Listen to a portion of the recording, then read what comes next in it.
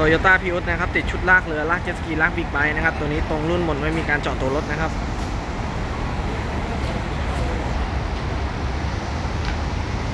หัวบอลนะครับ เป็นหัวบอลมาตรฐานขนาด 50 มิล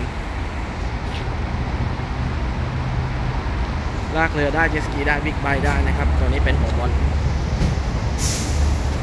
บอล mount สามารถถอดเข้าถอดออกได้เวลาไม่ใช้งานตัวนี้นะครับ จะไม่ยื่นออกนอกตัวรถเวลาถอดเข้าถอดออกจะเลยแค่บริเวณตรงนี้ ชุดปลั๊กไฟเป็นปลั๊กไฟเจ็ดมิลติดตามสัญญาณไฟรถเลี้ยวซ้ายเลี้ยวขวาไปเด่นไปหยุดไปบ่าหมาติดหมดนะครับ ชุดดิจิทัลซีซ่อนอยู่ใต้ตัวสเตอร์ทั้งหมด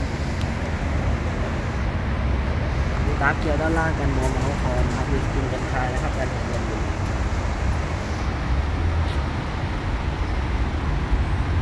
โอเคเรียบร้อยนะครับสำหรับชุดลากเรือนะครับชุดลากบิ๊กไบค์ของ โตโยต้าทีเอส